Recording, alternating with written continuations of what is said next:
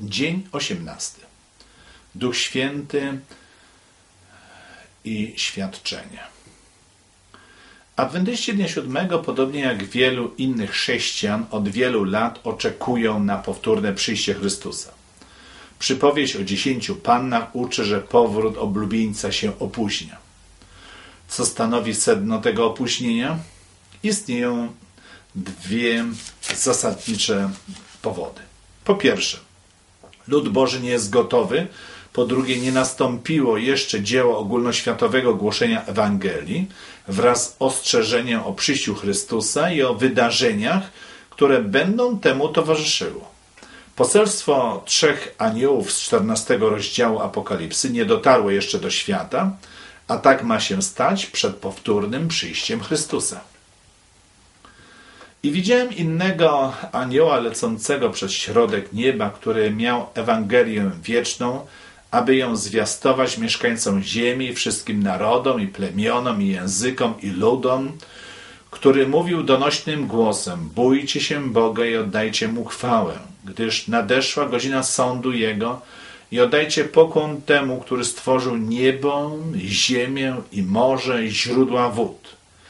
A drugi anioł szedł za nim i mówił: Upadł, upadł wielki Babilon, który napoił wszystkie narody winiem szaleńczej rozpusty.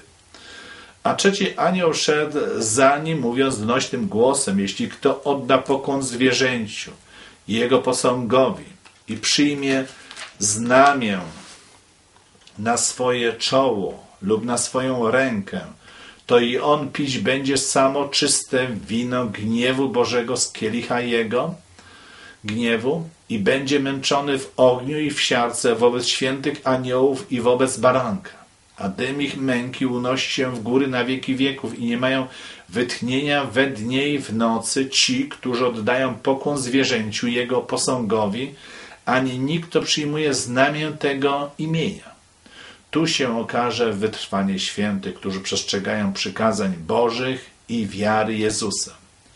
I usłyszałem głos z nieba mówiący: Napisz, błogosławieni są odtąd umarli, którzy w Panu umierają. Zaprawdę, mówi duch, odpoczną po pracy swojej. Uczynki ich bowiem idą za nimi. I widziałem, a oto biały obłok, a na obłoku siedział ktoś podobno do syna człowieczego, mającego na głowie swoją złotą koronę, a w ręku swym ostry sierp. Księga Apokalipsa, 14 rozdział.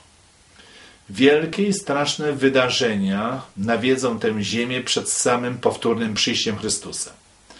W przeszłości lud Boży nie był gotowy na takie wydarzenia, podobnie jak w czasach Noego, kiedy nastąpił potop. Stało się to po uprzednim ostrzeżeniu mieszkańców ziemi i ukończeniu budowy arki. Obecnie również, kiedy poselstwo ostrzeżenia zostanie przekazane, a arka, czyli Kościół, będzie gotowa, wtedy nastąpi koniec. W jaki sposób Chrystus sprawił, że najważniejsze poselstwo w czasach Noego zostało przekazane światu. W swoim pierwszym liście apostoł Piotr odpowiedział na to pytanie. Duch Święty, który Chrystusa przywrócił życiu, jest tym samym duchem, przez którego Chrystus za pośrednictwem Noego zwiastował mężczyznom i kobietom, określonym jako duchy, będące więźniami szatana. Gdyż i Chrystus raz za grzechy cierpiał, sprawiedliwy za niesprawiedliwych, aby nas przywrócić do życia. W ciele wprawdzie poniósł śmierć, lecz w duchu został przywrócony do życia. W nim też poszedł i zwiastował duchom będącym w więzieniu, które niegdyś były nieposłuszne, gdyż Bóg cierpliwie czekał za dni Noego, kiedy budowano arkę, w której tylko niewiele, to jest osiem dusz ocalało przez wodę. Wyraźnie w księdze liczby 27 rozdział 15 do 16 wykazuje, że Biblia używa wyrazy duchy w określenie żyjących mężczyzn i kobiet. Biblia wskazuje też, że termin więzienie lub więźniowie może odnosić się do mężczyzn i kobiet pozostawionych w szatańskiej mocy grzechu i zwiedzenia. Możemy zatem na podstawie Pisma Świętego stwierdzić, że to Chrystus jest duchem przez Ducha Świętego, przemawiającym przez Noego, przygotował mieszkańców ziemi na potop. Tak też będzie w dniach ostatecznych, tuż przed powtórnym Jego przyjściem. Chrystus będzie przemawiał za pośrednictwem Ducha Świętego przez napełnionych duchem chrześcijan, aby przygotować świat na drugi adwent. Od wielu lat jestem adwentystą dnia siódmego, z czego większość czasu spędziłem jako pastor.